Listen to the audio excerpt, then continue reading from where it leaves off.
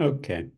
So one thing that's very important about design is if I have a design like this that has ink that runs all the way to the edge of the paper, that's not actually possible when printing on a printing press.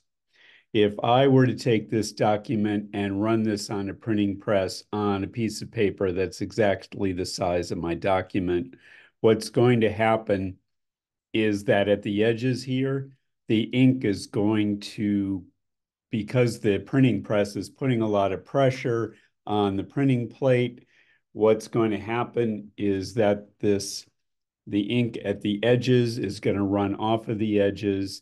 It's going to run underneath the paper, and so it's going to get ink on the backside it's going to get all over the press and it's going to create a big mess and it's never going to print right. So what we do um, when we actually need to print to the edge of the page is that we print on a larger sheet of paper.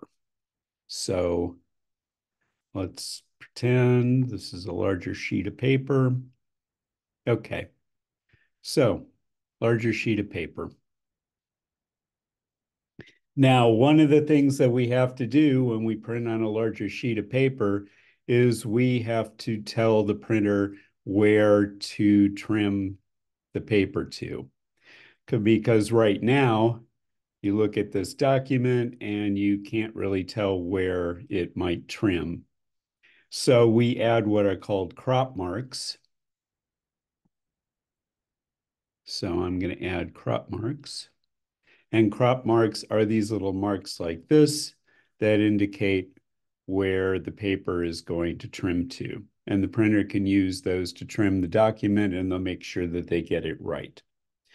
The second thing that we have to do is, uh, let me see. So if I make another document,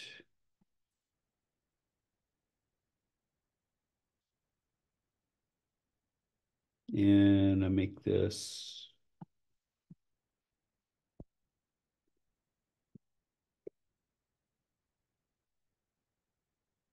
And I do that.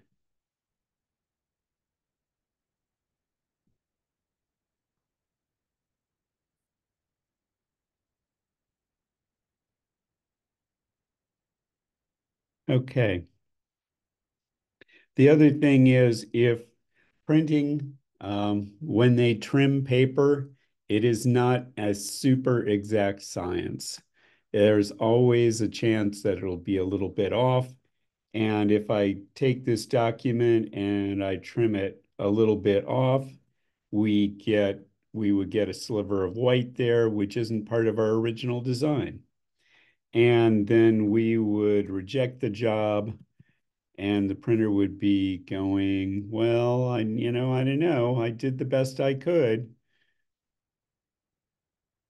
So what we also do, in addition to adding, adding crop marks, is any place that this color or a photo or anything um, touches the edge of the page, we actually pull it out an eighth of an inch farther like that.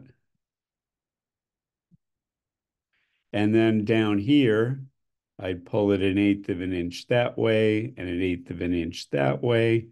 And that is called bleed. And if I take this document over here, actually, I'll just do this.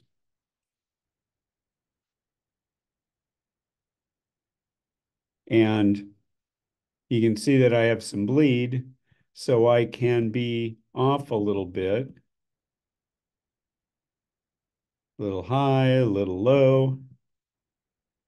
It doesn't have to be quite perfect, but it'll always look good when it's done. Okay, so, and that's called bleed. Well, these are called crop marks. Crop marks. And let me make that a bit bigger. Okay. And this is where the document actually trims to. Uh, we would not show this um, in a normal document, but I'm showing it to you here to show you how the document matches to the crop marks.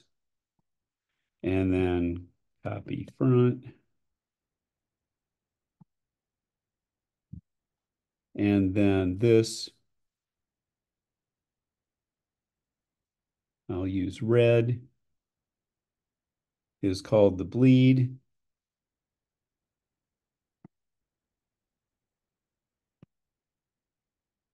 Bleed.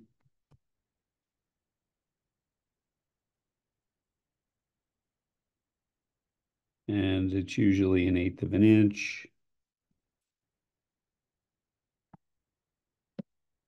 Point one two five IN. And extends on all sides. Okay. Crop marks and bleed. And I'm going to save this.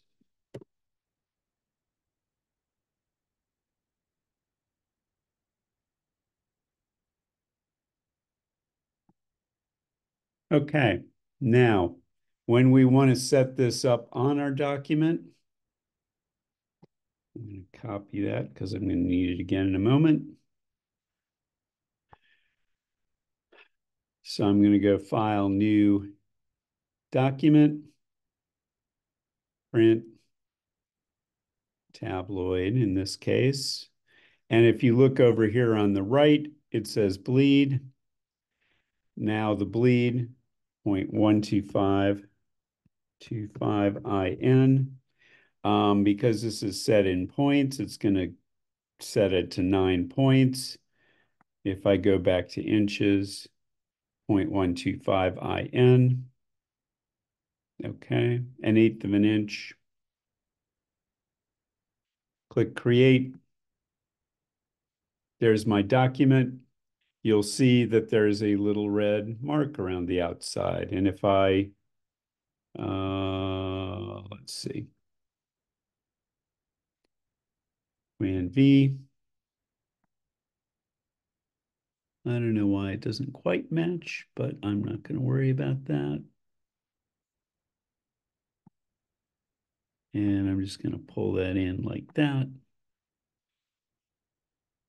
Okay, so that's an eighth of an inch bleed. It's set up in my document because I set it up at the beginning. Uh, command save. So in order to um, let's see, document save. Okay. I'm going to add a little bit of type onto here.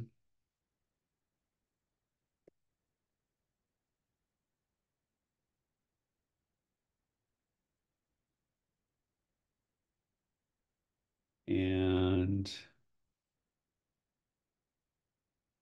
I'm going to make something really ugly just because I need another headline uh, or another font.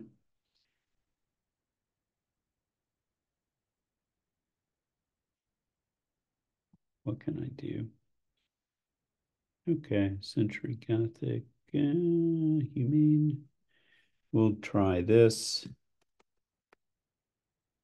Um, 200.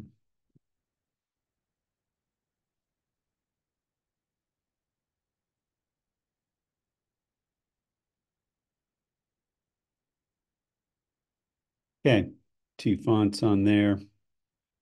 Irrelevant to my bleed. But if I go and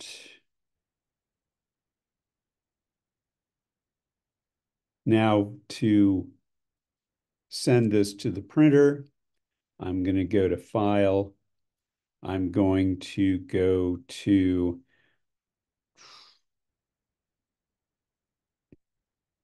Oh, right. Save as. In fact, before I do that, let me save it. File, save as. I'm going to change this to PDF. I'm going to click save. I'm going to do press quality. There's a pull down here. You can see they have press quality.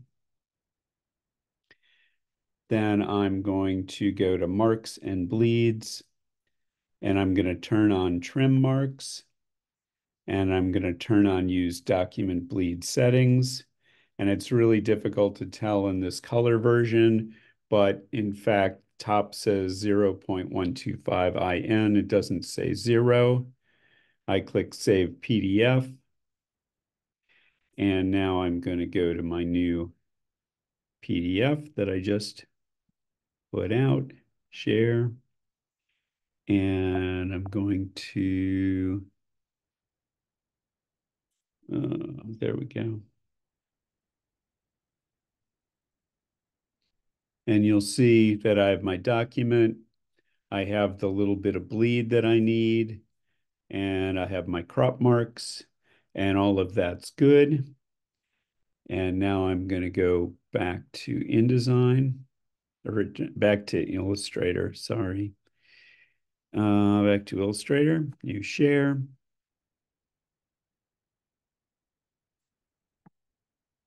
Share. And I'm going to package this to send it out to um, so that I can also send the original file in case there's any problems with the uh, the design of this project or something needs to get we catch a misspelling at the end or something. So I'm going to go to File. I'm going to go to Package. It's going to save it on the desktop. Notice that it says it's going to copy any links. So if I had any photos connected to this project, it would copy those. It's also going to copy any fonts that I used, except Adobe fonts from Adobe Online, um, or fonts that might um, be embedded with code that tells them not to be exported. We click Package. Um, it gives us warning about we should not send font software to anybody but a service provider, somebody who's going to do printing, um, because fonts are copyrighted and just handing somebody a font that you've paid for but they haven't paid for is illegal. Click OK. I'm going to tell it to show package. I'm going to do a new share and I'm going to go to here and share. And you'll see here's my bleed test. There's a report in here. There's the bleed test PDF because I've saved it. And I also get the fonts. And here are the fonts that I used in this project. Um, and then I go to my desktop where I kept this, and there's the bleed test folder. See, bleed test, fonts, so on. I can compress this. So I'm going to go right click. On the Mac, it's simply compress bleed test underscore folder. On a PC, it asks, I think it says share. And underneath share, it also gives you an option to just compress the folder as a zip file, which is what it's going to do. I click compress. This folder gets zipped like this, and then I can send this to the client. And the client can do with it or the printer, I'm sorry, send it to the printer and then the printer can print it.